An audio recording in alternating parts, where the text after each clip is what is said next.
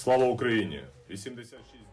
в обращении, распространенном завода «Азовсталь» в Мариуполе, командир Денис Прокопенко заявил, что получил приказ от высшего военного руководства о приостановке обороны или сохранении жизни бойцов. Он отметил, что условием стал вывод из «Азовстали» мирных жителей, а также тяжело раненых военнослужащих и вынос тел погибших.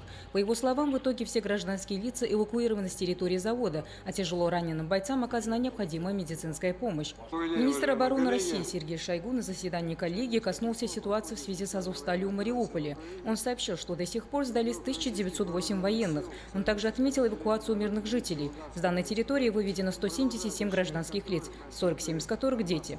Ходе выступления на заседании коллегии глава оборонного ведомства также заявил о росте военных угроз на западных границах страны. По его словам, на западном стратегическом направлении ситуация характеризуется возрастанием военных угроз на российских границах. Шойгу отметил, что в ответ на рост угроз до конца 2022 года в Западном военном округе будут созданы 12 новых воинских частей и подразделений. Министр обороны сообщил, что за последние 8 лет интенсивность полетов стратегических бомбардировщиков США в Европе увеличилась 15 раз, а между тем бои продолжаются.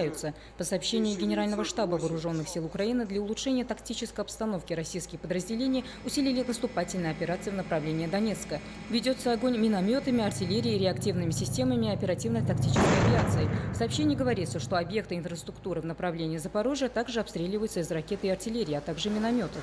Российские военные наносят контрудары в направлении Харькова, чтобы восстановить утраченные позиции. Хавер Алиева, Фердабасова, Нюльфар Асланзада, Новости СТВ.